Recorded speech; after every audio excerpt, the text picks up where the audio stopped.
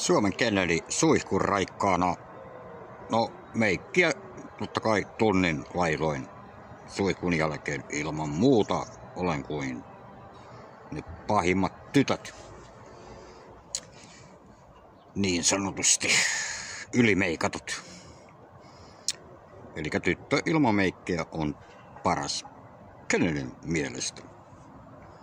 I am normal boy. Yeah. Joo, eli mitäs piti tässä nyt sitten suihkusen raikkaana viattomana nuorena nuori mieli on pojalla yhä tänäänkin. Kaksonen on ikuinen nuori poika. Näkeehän sen totta kai ulkonäöstäkin, että kaveri on jo satavuotias, mutta kaksikymppiset tytöt hulluna ehkä he ovat hulluja jo valmiiksi, niin eihän se tietenkään ihme ole, jos ovat Suomen Kennedyin hulluna. No tämä on minulle normaalia, mutta kuten olen sanonut, minä olen vain yhden tytön poika. That's it. Näin. Joo. Eli mitäs...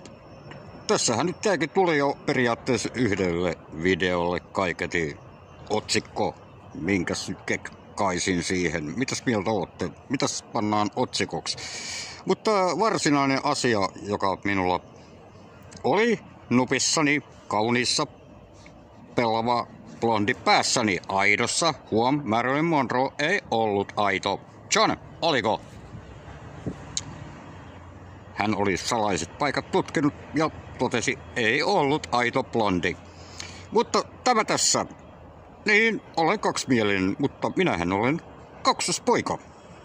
Se kuuluu perusluonteeseeni ja sen vien hautaani tai taivaaseen mukana. Tuossa sinne! Tuun mein kuulema. Molemmat ukot siellä höpisee jotain.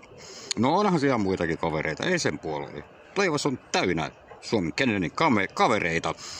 Ja siitä oikeastaan tulikin mieleen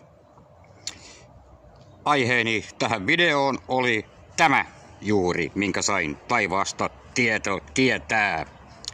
Salaman nopeasti, vaikka salamaa täällä ei muita ole kuin salama-älyinen Suomen Kennedy. Minä ymmärrän suomalaisia, suomalaiset eivät ymmärrä minua. Minä olen väärän maan Suomen Kennedy.